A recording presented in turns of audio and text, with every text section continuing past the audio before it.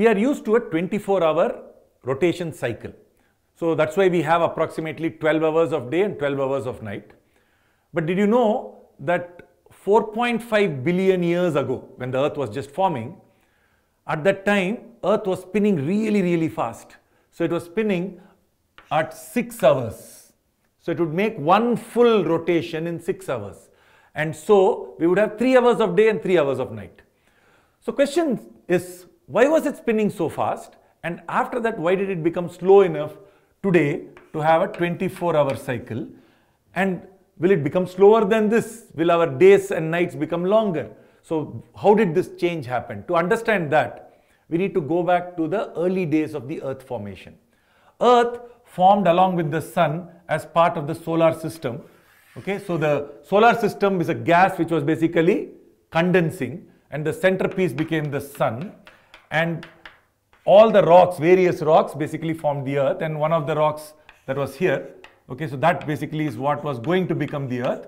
The early earth was called Gaia. Okay, when it was just forming, it's a huge rock, it was called Gaia. And at that time, another huge rock called Theia came and crashed into the earth. Damal. So when it came and crashed into the earth, it got the earth spinning really, really fast. Now you might be wondering why any kind of a crash will make something go fast. You can see that very easily. So for example, if I have an object here, it's not spinning very much. If there is something that comes and collides with it, can you see that when I come and hit it, unless I hit it right in the middle like this, any slight change will mean that it's going to spin that way. If I come and hit it in this direction, you will see that it's going to rotate in this direction, right? So a hit this way will make it spin. So when you had the Gaia, big earth, and this is Theia, when the Theia came and hit Gaia, it got the earth, which is basically a combination of Gaia and Theia, basically spinning really fast. And so it started spinning at 6 hours, one full rotation. So day plus night was only 6 hours at that time. And when Theia came and hit into the Gaia, into Gaia, the explosion, the collision was so strong, it melted the whole earth. So you had the whole earth basically becoming a, a liquid. And the lot of the iron particles, so the iron particles that were at the surface, because the whole thing was molten, it started sinking. And so today we have an iron core for the earth and the rest of it which is rocky, well it is molten rock still. The heat that was generated, you still have it today. And you get all these volcanoes and all coming out because of this hot lava that is inside. But the centerpiece of the earth is iron because at that collision, the entire earth melted and the heavier particles which are iron basically started going down to the center of the earth. So now you have a very fast earth that is spinning really well, right? Now let us look at how this fast earth that was spinning so much, why did it slow down to 24 hours? And that has a huge connection to the moon. To understand what happened with the molten earth, remember that when Theia came and hit Gaia, okay, so the earth, basically the whole of earth was molten and so the iron particles went down to the center. So the, we have a central iron core, but the whole thing was molten, right? So this whole thing was liquid, liquid lava.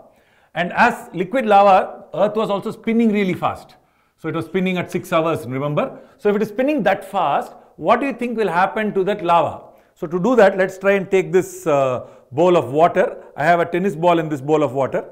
I am going to take this, so now think of this as the liquid on the surface.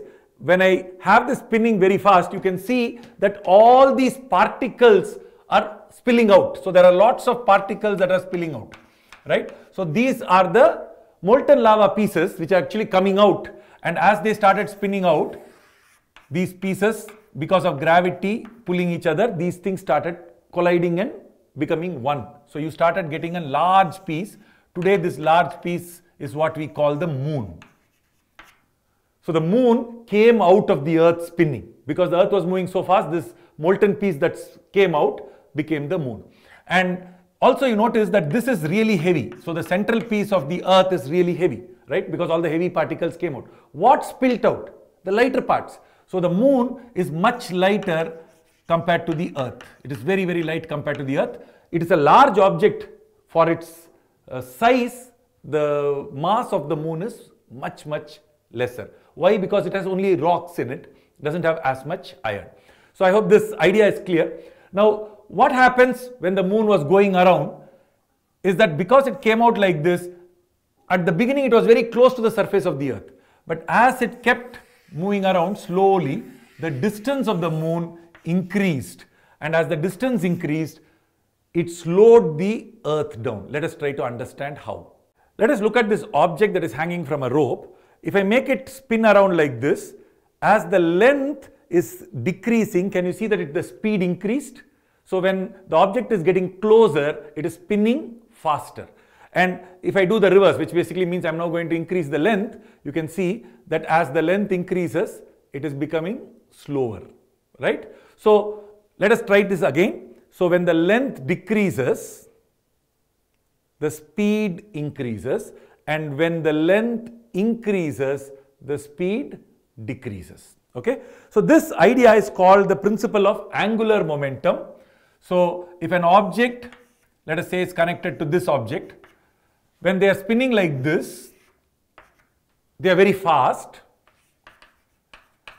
And when you make the distance more, and when they are spinning like this, if the same object starts to go a little further away, this becomes slow. Okay, so this is fast and that is slow. Because of a principle, we call this a principle of angular momentum. The angular momentum is usually represented by the letter L and L is moment of inertia into omega. The moment of inertia depends on how far away the mass is. So far away, if the mass is far away, that means I is more. The moment of inertia is more. So if moment of inertia is more, because when the mass goes far away, the moment of inertia increases. If the moment of inertia increases, that means this increases, this must decrease because angular momentum, this fellow is here called angular momentum, must be constant. So this must be constant. So if you want angular momentum to be constant and I is increasing because the mass is going away, then omega must correspondingly decrease. So if I increases, omega decreases. So sometimes we write big I, small omega is equal to small i big omega. So if I increases, omega decreases, I decreases, omega increases. So when the object is going further away, what is happening? Moment of inertia is increasing. And when moment of inertia is increasing, the angular speed must correspondingly decrease. So that is basically what happened with the earth.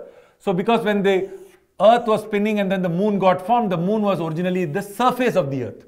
And as the earth kept spinning and the moon started going further away, so the moon began to do that. And as the moon got a little further away, and today it is about 3.5 lakh kilometers away. In the beginning, it was at the surface of the earth.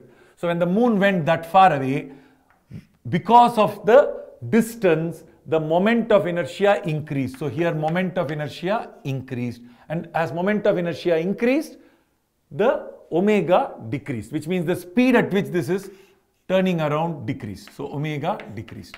So in the beginning it was 6 hours of turn and by the time it reached there it became right the earth speed not the moon speed but the earth speed basically became 24 hours one turn.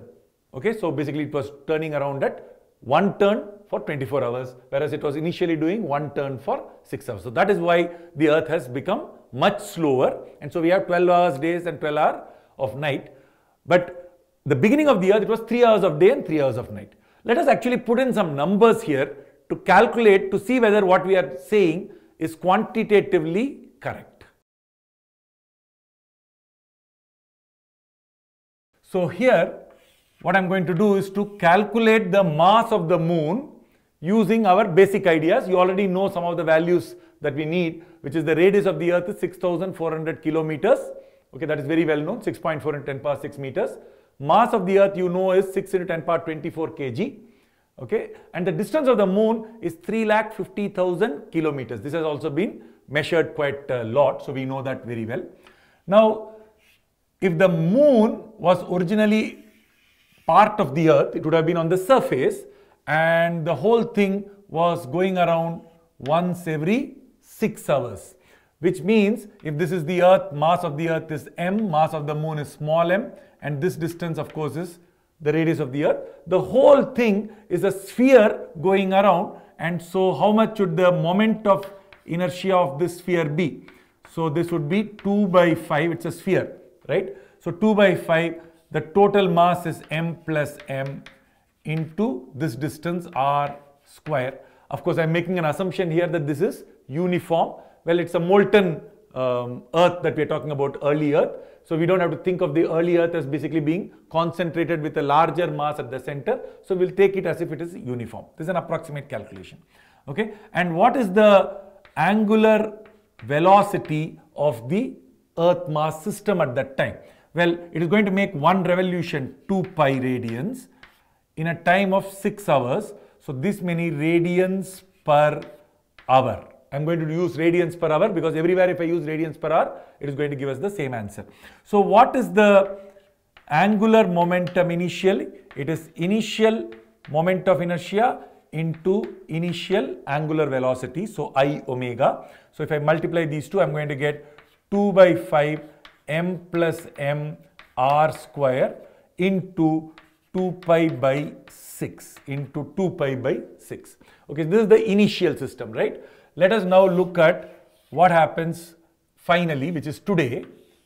So this is 4.5 billion years ago. This is 4.5 billion years ago. Okay, and today, what do we know about the Earth Moon system today? Well, Earth is going around at 24 hours, one turn. So we know that its omega is 2 pi by 24 radians per hour. Okay, and the mass of the earth of course is the same, radius of the earth is still the same. And the moon is not here, moon is really far away. So this distance I'm going to call it r, small r, which we know is three and a half lakh kilometers. And the moon, which has mass m, is going around. But how much time does the moon take to go around the earth? 29.5 days, which is almost 30 days. It does this in 30 days, which means 30 days into 24 hours because one day is 24 hours today, right? So omega of the moon is 2 pi, it makes one full round 2 pi in 30 days, a day is 24 hours. So 30 into 24 radians per hour. So that is the omega of the moon. Now I for the earth is 2 by 5 m r square because earth is a sphere. So we can look at the I for the earth, moment of inertia for the earth is 2 by 5 m r square. Moment of inertia of the moon, well about what? About the center of the earth. We want everything about the center of the earth. So if I look at this, the distance is r. You can ignore the fact that moon is even a sphere. It's so far away, it is like a small dot. So instead of writing the moment of inertia about itself, I'm just going to think of the moon as just going around like this and its rotation on its axis is very slow. It takes 30 days to rotate on its own axis, so we can even ignore that. And so here I'm just going to focus on the fact that moon is at this distance. So it is m into small r square. Okay. So you have an angular momentum for this part and angular momentum for that part. So angular momentum final is 2 by 5 m r square into 2 pi by 24 plus m r square into 2 pi by 30 into 24. Notice that 2 pi by 24 is common and what we want really, what I want here is to recognize that the initial angular momentum of this system must be equal to the final angular momentum of the whole system together. That is, this whole thing must be equal to this. So, Li must be equal to Lf. So, now let me write these two values the initial angular momentum is 2 by 5 m plus m r square into 2 pi by 6, right? So I'm going to write that 2 pi by 6 here. I'm going to cancel out a lot of these, so therefore we'll keep it here. This is the initial angular momentum of the system and that must be equal to the final angular momentum of the system, which is this. Okay, now you have this 2 pi by 24 which is common, so why don't we write that 2 pi by 24 up front. And then I have a 2 by 5. I also have a 2 by 5 here. I would like to cancel that. So I want to write 2 by 5. I want to write the 2 by 5. But this does not have a 2 by 5. So you can multiply by 2 by 5 and then you can also multiply by 5 by 2. So that means the 2 by 5 can be taken out common. So if I take that out, so 2 by 5 comes out. I have mr square inside, mr square. This has already come out.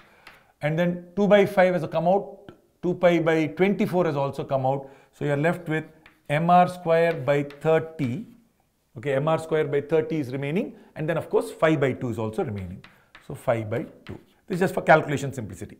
Okay, so now first the 2 by 5 can be cancelled out on both sides. 2 pi can be cancelled out. 6 cancels out 24 giving you 4. So when the 4 goes here, you will end up with 4 times mr square plus 4 times small m r square. Okay, I've taken the 4 on that side is equal to capital M r square plus, well we can cancel this out, this is going to give me 6. So 6 into 2 is 12. So plus mr square by 12, small mr square by 12. And if I take this to this side, I'm going to get 3 mr square. So this means 3 mr square. M is mass of the earth, we know, radius of the earth, we know. So 3mr square. Let's take everything to that side is equal to small m into r square by 12 minus 4 capital R square. So from this we can write the mass of the moon. So from this we get mass of the moon must be 3 times mass of the earth radius of the earth square 3 times mass of the earth radius of the earth square by r square by 12 minus 4r square. I have all the values required I can substitute. So I have 3 times mass of the earth 6 into 10 to the power of 24 we know that there.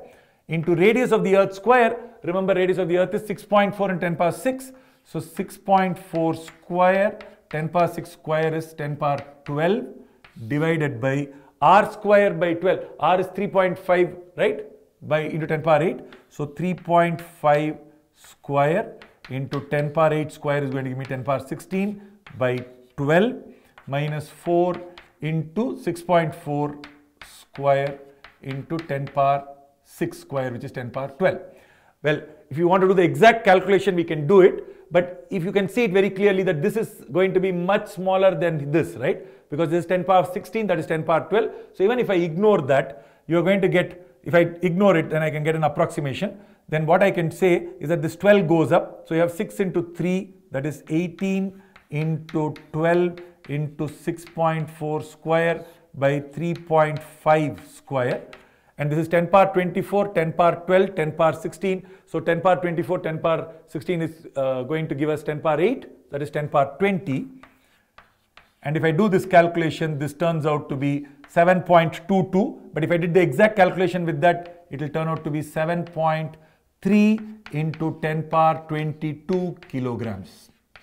Okay, so I did both the calculations. So with this, you can quickly check that this is about 7.2. That is going to be 7.3 if I keep that also. And so let us uh, check it out whether that is really is the mass of the moon. So I'm going to use my phone. Let us just Google. And so Google mass of the moon. And you see it is 7.34 into 10 to the power of 22 is what different calculations have shown. So the moon's mass according to Google is 7.3 into 10 to the power of 22. Our angular momentum calculation gives the exact same answer. Physics works.